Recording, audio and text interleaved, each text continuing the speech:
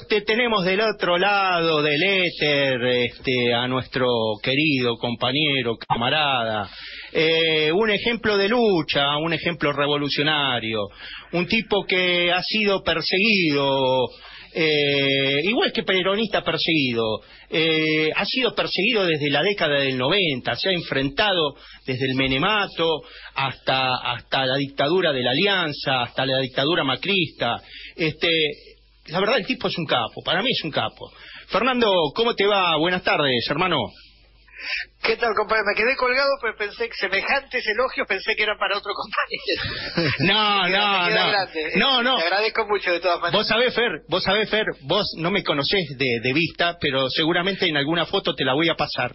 Eh, un día estábamos en una marcha, ¿viste? De esas que puteábamos a Macri y eh, y viste viste que los compañeros se sacan fotos con los compañeros más más notorios y yo elegí sacarme una foto con vos Fer viste te tengo Ah, como mira. referente tengo como referente Te agradezco hermano. mucho. después te voy a hacer llegar la foto Dale, cómo no. Te agradezco mucho. Fer cómo te va cómo andás Y acá estamos, este, expectantes de, de cómo se van desarrollando las cosas, con algunas preocupaciones. sí sí Este, todavía perplejos con la, con, con la reacción de anoche, lo que yo ya estaba este, rezongando respecto de la propuesta de reforma judicial, que me pareció demasiado tibia, demasiado este, administrativa, este, ignorando algunas situaciones muy evidentes, como el tema de los presos políticos, del lofer y demás. claro. Y no obstante lo cual, eh, no obstante lo cual salieron, salieron los balcones a tronar este, con, con sus cacerolas, así que me parece una cosa, me parece que estamos en un, en un, en un momento bien interesante y complejo de disputa ideológica y de clases. Mira, este, eh, acá peronista perseguido, que es un personaje, ¿viste? Tiene tomo y folio en la Cámara Federal de San Martín, me manda la connivencia política que garantizará la superestructura de explotación capitalista burguesa para proteger plusvalías, cuotas de poder político, judicial y financiero a espaldas del pueblo todo. Está mal parido. Sí, mira, ayer lo descubrí a peronista está perseguido en, en- en las redes sociales. no, no- no lo tenía, pero de verdad Es amigo, ayer es amigo de Juila Gato, de todos esos. Te lo descubrí porque estaba estaba reenviando el flyer este del, del programa de hoy. Este, sí, me parece que el análisis este uno lo puede lo podría ajustar en, en las categorías y los términos que plantea que se plantea que plantea el compañero y demás. Este, yo creo que es este la verdad me parece que es este una maniobra que, que no es menor, no hay, no hay que subestimarla. Me parece que Vélez vino a hacer eso y no es poco. Este, en términos concretos a lo- a- eh, para los sectores populares o para la vida cotidiana significa eventualmente agilizar el acceso al servicio judicial. Sí, sí. En términos de la clase política significan unas cuantas cajas más, algunos nombramientos, algunos nichos de poder, este, de esto que significan nuevos juzgados y ampliación de personal. Sí, sí. Ahora, en términos del combate real a la colonización que hay de parte del lofer, de las embajadas, de, de los poderes más siniestros, entre el, el poder en el poder judicial del federal, me parece que eso no no se avanzó en nada y lo preocupante es que los términos de la presentación de la reforma fueron de denuncia también, ¿no? Porque dijo decir cosas como que un juez tiene que decidir independientemente de presiones, este, o que hay que garantizar el acceso a la justicia para todos los argentinos por igual, es- digo, es una No está es diciendo una nada. verdad de pero No está diciendo nada nuevo, ¿no? no, me parece preocupante. Digo, eso da cuenta de en qué nivel estamos. Este, eh, por eso creo que, se, que y, y más allá de la corte esta de, de expertos, que seguramente sean, sean personas muy este, muy sólidas en, en, en cuanto al derecho, pero no algunos, olvidemos que el derecho es una también es una expresión de correlación de fuerzas, pero lo concreto es que eso está escrito por Belis o por los jefes de Belis que vino a hacer eso, ahora se irá al video, vaya uno a saber qué cosa va a seguir haciendo, este, pero no es una de ninguna manera eh, me parece una transformación en, en términos de, de la estructura del Estado, mucho menos en el combate contra el lawfare. Y lo preocupante de esto es que está Luis, La Flaca, eh, Ricardo, Juan Pablo, muchos compañeros siguen en cana, muchos, bueno, hay otros con, con prisión domiciliaria, otros con prisión este, en penales, este, compañeros presos políticos y causas armadas. En la presentación de la reforma está planteado esta, este manejo discrecional que hubo del Poder Judicial y sin embargo sobre eso no se avanza, ¿no? Exactamente. Así que eso me parece lo más, lo más preocupante de todo. Eh, vos sabés que mm, eh, a mí a mí me pareció absolutamente coincidente tengo el análisis eh, pero creo creo que eh, la madre de los huevos de la serpiente está en el pacto de olivos en ese que vos combatiste también tanto en los 90 eh, sabemos quién es Belis no Belis es el mismo que seguramente te creó problemas legales ya en la década del 90 no Fernando bueno este como bien señalás este ahí estábamos en Paraná con, con Norma Pla por aquello sé, por aquella época que plena lucha, pleno paroxismo de la lucha de los jubilados, combatiendo el Pacto de Olivos. Yo creo que ayer se hizo mención a las a, la, a, los a las orientaciones planteadas en la en la Constitución, este, la reforma constitucional que habían quedado pendientes, lo cual me parece una muy mala referencia. Pero sí creo que es la continuidad de eso, digo, porque el Pacto de Olivos y, y esa reforma constitucional es la adecuación este, institucional, jurídico-política al neoliberalismo. Entonces me parece que Exactamente. mientras algunos vamos remando y planteamos la constitución de 49 y qué sé yo, otros este, reivindican la, la agenda del 94, entonces ahí tenemos una contradicción doctrinaria, ideológica, de proyecto de país, este, que la tenemos que tener clara. Esto no quita que no tengamos claro que el enemigo está acechando, que es Macri, que son estas cacerolas y demás, pero tenemos que tener claro también las contradicciones hacia el interior de la alianza electoral frente de todos, este, porque si todos caracterizamos que este era un gobierno de transición y todos caracterizamos que este era un gobierno en disputa, esa transición hay que acompañarla para que vaya donde nosotros queremos y esa disputa la tenemos que dar, porque si nos quedamos cruzados de brazos en términos, en función de la correlación de fuerzas o eventuales debilidades, lo que fuera, entonces esa transición va a ir para cualquier otro lado y esa disputa la van a estar dando solamente las fuerzas siniestras que se expresan en, los cacerolazos y en las marchas de la infectadura y demás. Sí, Fernando, ¿qué tal? Te habla Gonzalo Pérez Morales. ¿Qué tal, Gonzalo? ¿Cómo estás? Bien, bien, muy bien. Sí, mira, nosotros eh, acá con Fede, cuando iniciamos el ciclo del programa, este, la idea que ya veníamos charlando, fue acompañar con crítica. Porque cuando nos decían, pero con crítica para adentro, nosotros preguntamos, ¿por qué para adentro? Porque la crítica también tiene que ser para afuera, como para ir, para, para marcar un poco también nuestro pensamiento y nuestra forma de ver las cosas. Ahora estamos un poco, un poco eh, preocupados también por la creación de la justicia federal porteña, que también queremos seguirla de cerca, pues es algo nuevo, ¿sí? Que, que, que vamos a que está dentro del proyecto. Este, bueno, también con la, como, como comentaste recién, con la ampliación, ¿no? De nuevas, de nuevos cargos, este, pero del mantenimiento del statu quo, que eso también es muy preocupante. Sí, es que claro, concreto yo digo, para cualquier mente lega, no, no tenés que ser un experto en, en, derecho procesal, ni mucho, ni mucho menos, pero digo, ahí Stornelli está procesado, loco, no es que eh, Tayano es el tipo que, que eh, eh, desarrolló todas las instrucciones en el marco de las causas del Lofer.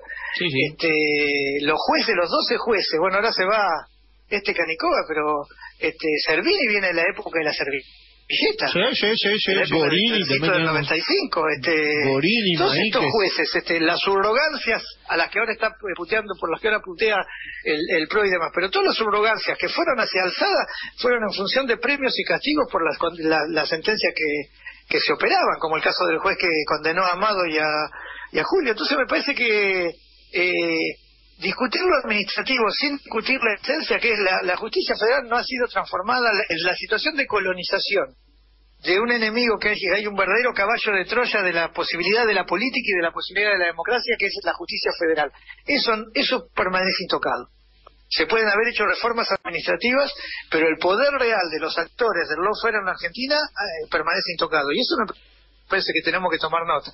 Para adentro, para afuera, para el costado, para donde quieras, pero hay que tomar nota porque eso es un peligro latente y en una eventual situación este, de adversidad electoral eso significa que volvemos a la cárcel todos los compañeros y, Cristina y, la persecución sobre el movimiento popular, porque estos además son despiadados, son revanchistas, este, no son lo mismo que nosotros, ¿no? Que todas las causas que tienen, escandalosas, como la de Duhovne, Dietrich, Iguacel, el propio Macri, el espionaje ilegal, todos ellos gozan de todos los privilegios, los de todos los las garantías constitucionales, la presunción de inocencia, no sufren el escarnio público no están en las tapas de los diarios eh, escandalizando a nadie, este, muy por el contrario de lo que sucedió en el marco de los FER este, en el gobierno macrista con todos nosotros.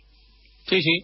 Este, el, el tema, el tema básicamente, básicamente, eh, esta semana se cumplió, se cumplió el 66 aniversario del nacimiento de nuestro comandante eterno, por lo menos para mí, ese comandante eterno de la revolución, que es eh, Hugo Rafael Chávez.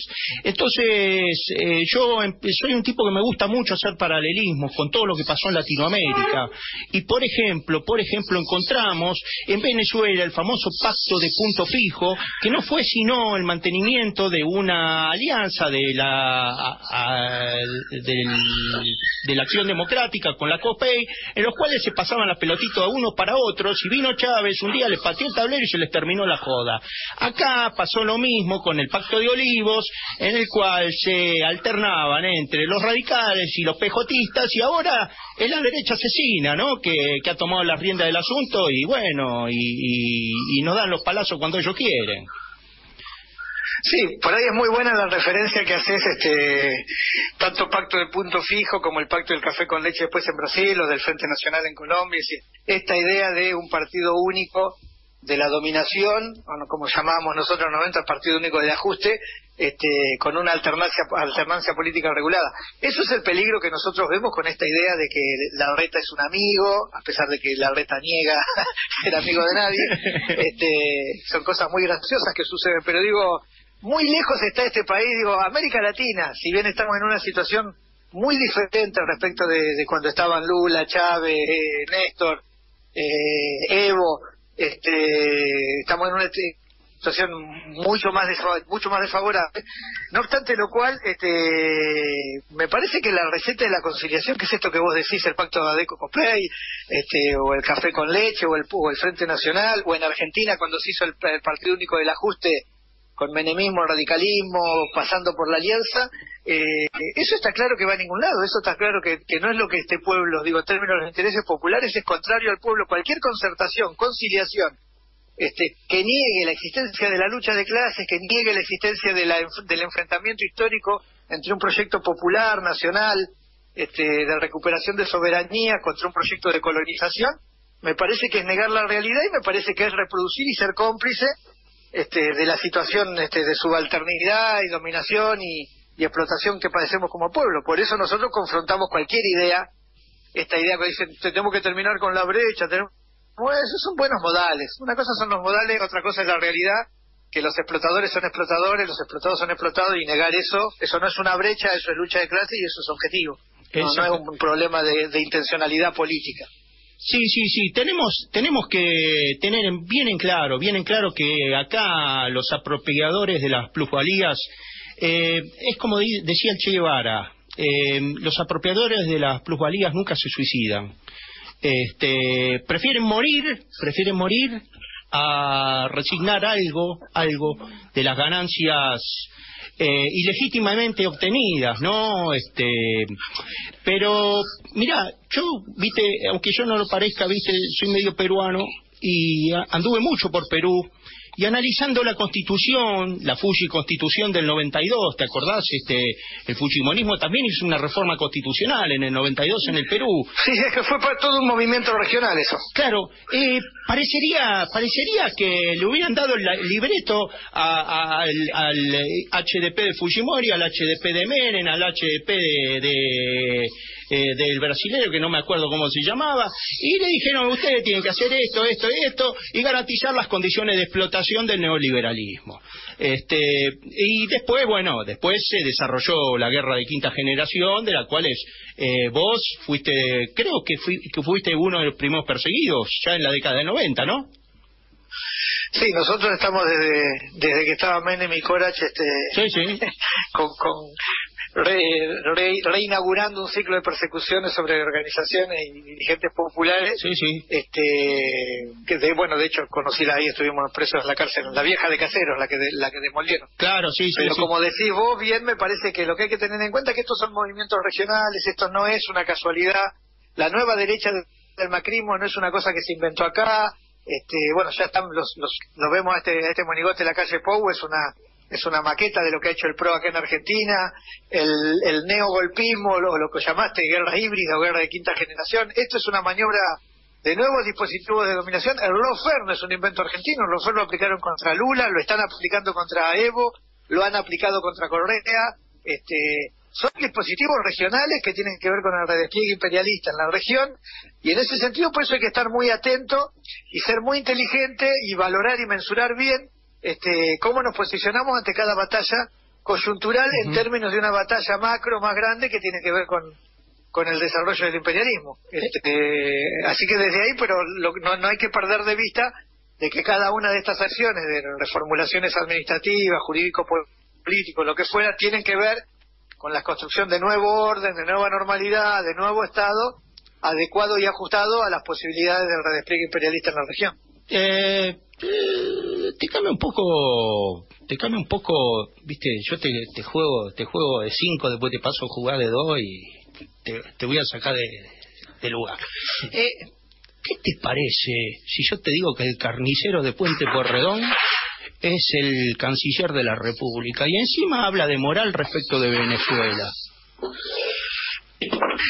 A ver, que el canciller de Puente Porredón es el canciller no, no, de moral, carnicero de Puente Porredón Ah, el carnicero de Puente Porredón, claro. Sí, es el canciller de la República y tiene moral para hablar de Venezuela. No, me parece que, que no es el canciller, que me parece que el canciller sigue siendo... Ahí me parece por eso que hay que entender algunos actores. El carnicero es el canciller. es el hombre...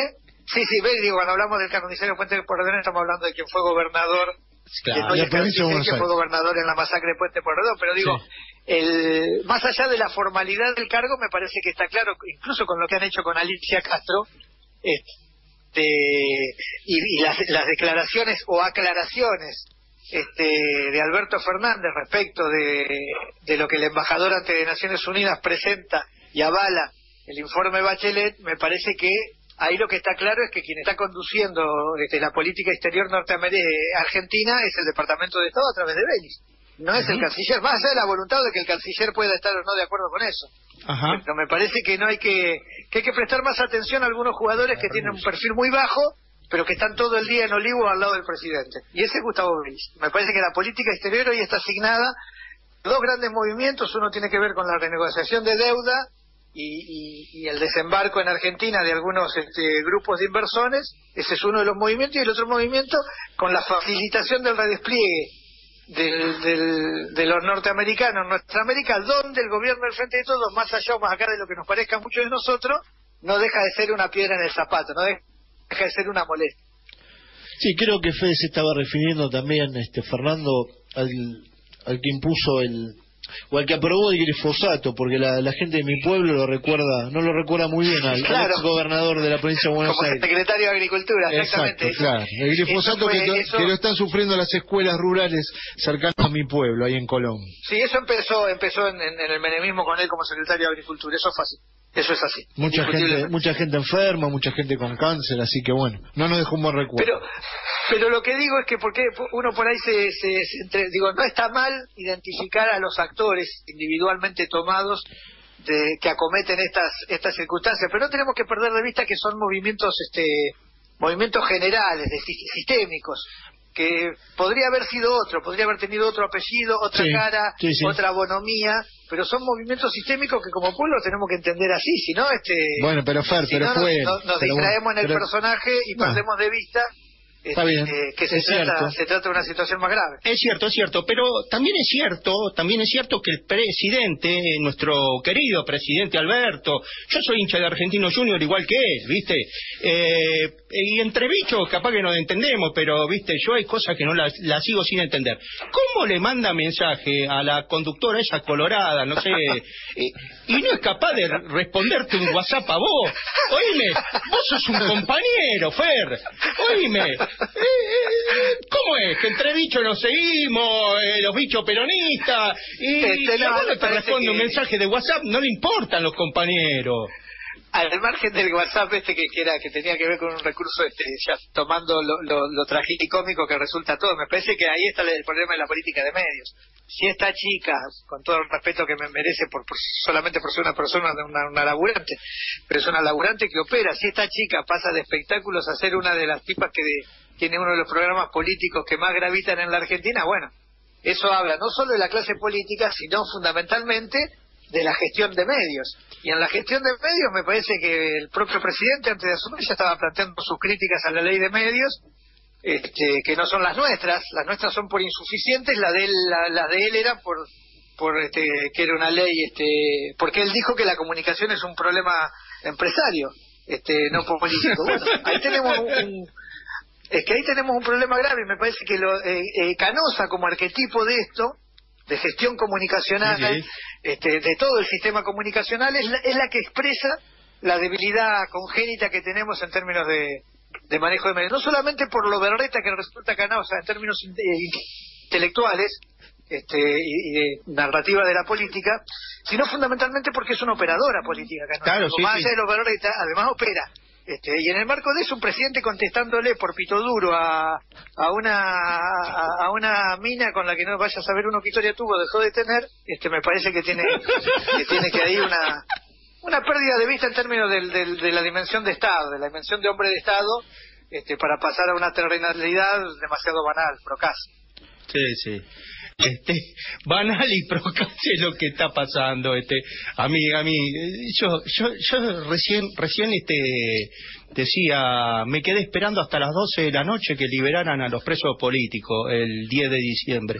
Vos sabés que yo me fui con mi pibe, íbamos con las camisetas de Argentino Junior, eh, eh, iba acá con, con Juira Gato, íbamos, íbamos, él iba con la camiseta de Racing, viste, él es de los grandes, pero yo iba con la camiseta de Argentino Junior, mi pibe también, este, para nosotros fue una fiesta. Pero después cuando volví a casa me quedé esperando, ¿viste? Dije, ¿y ahora qué? ¿Se decreta la libertad de los presos políticos? ¿Hacemos el de botazo? ¿Qué hacemos? Nada, me parece que eso, eso tiene que ver con una comprensión de, por un lado, de la relación de fuerzas internas, domésticas en Argentina, por otro lado regionales, y, y, para quien se confundió, bueno, lo lamento, digo, pero Alberto Fernández no es Néstor con bigotes ni es Cristina con pantalones. Alberto Fernández es Alberto Fernández, y el que quiso, el que quiso ver otra cosa, o pretende ver otra cosa, este flaco favor nos hace a los que tenemos que, que, acumular y alimentar y construir un proyecto popular, porque tenemos que entender que Alberto Fernández es esto y que éste está timoneando o está conduciendo en el sentido que él quiere y entonces bueno habrá que construir este mareas o corrientes que permitan que, que se navegue para el lado que, que, los sectores populares necesitamos y requerimos sin dejar de perder de vista quién es quién en la política porque si no este el es con todos que alcanzó hasta Bocio alcanzó a Sergio Más alcanzó a un montón de actores este perdemos de vista que son que las contradicciones secundarias, por ser secundarias, no es que son menores. Una contradicción secundaria frente al macrismo no quiere decir que sea una contradicción menor este, que uno tenga terminal con Clarín o que uno tenga terminal con, la, con el Departamento de Estado a que uno tenga terminal con, con, con la matanza o, con la primera y la tercera del conurbano. Parece eh, que ahí hay son contradicciones secundarias, pero son y, de, mucha profundidad. Y si él, y si él es con todos, en vez de tener esa clase de aliado que los nombraste recién, que la verdad me, me agarró un poquito de picazón, ¿viste?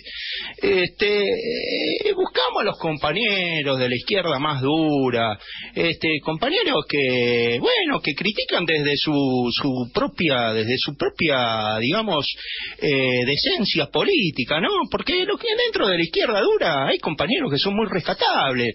Y hay veces que uno eh, los oye y dice, y la verdad es que Del Caño tiene razón. De acá, que les pongan 30 lucas 30 luca electrónica en el bolsillo de cada persona para que para sacar a, la, a las personas de la miseria. Eh, y yo lo apoyo perfectamente. Y los compañeros, eh, vos, lo, vos lo retuiteás y, vienen y te dicen, eh, ¿qué te volviste? ¿Te volviste eh, de eso? Que nos cagaron en, en el 2015. Y te empiezan con toda esa sarta, ¿viste? Y, yo la verdad, loco, yo yo lo prefiero tener a, esos compañeros que tenerlo que tenerlo a Sergio más acerca. ¿Qué quiere que te diga? Sí, eso tiene que ver, digo, porque son distintos niveles de discusión. Una cosa es que no es no es gratis, no es gratis haber desacumulado en cuando cuando fue cuando fue un proceso de, necesidad de acumulación y, para ellos era todo lo mismo cuando no es todo lo mismo. Digo, porque lo otro que hay que decir es que no es lo mismo Alberto Fernández que Macri. Esto hay que decirlo. Sí, sí, sí. No es lo mismo Alberto Fernández que Macri. nos duele mucho, nos jode mucho, pero no es lo mismo. Entonces, el, el, el que todo es lo mismo, no. Digo, son costos que hay que pagar. Después, los arquitectos, los ingenieros este, electorales evalúan un modo de acumulación donde muchos de nosotros, vos no te olvides que muchos de nosotros este, nos llamaban por teléfono para que no nos asomemos los actos, ¿eh? Sí, sí. Muchos de nosotros, te digo, yo por ahí soy un personaje menor, pero lo llamaban Amado para que no aparezcan los actos. ¿A Luis? A Luis, sí, sí, sí, estábamos todos juntos nosotros. a todos, nos llamaban a todos. Ah, con, un llamado resolvido. vamos a seguirla, ¿eh? Vamos a seguirla porque tenemos para cortar tanto, tenemos para cortar, me parece. No, pero digo, estas son cuestiones que los ingenieros o los arquitectos de la, de, la, de la política electoral definen, evidentemente, porque suponen que nuestro pueblo está para eso y, y no para otra cosa. Bueno, eso la única manera, de, todo lo que digamos es contrafáctico, la única manera de, de probar o comprobar de que, de que hay otra posibilidad es construir esa otra posibilidad, y eso depende de nosotros, no de los otros. Fernando Esteche, te agradecemos un montón y te comprometemos seguramente para otro programa. Muchas gracias. Cuando quieran, un gustazo haber hablado con ustedes. ¿eh? Igualmente. Espero la foto esa. Gracias, Fer. Te la mando, te la mando, hermano. Un abrazo.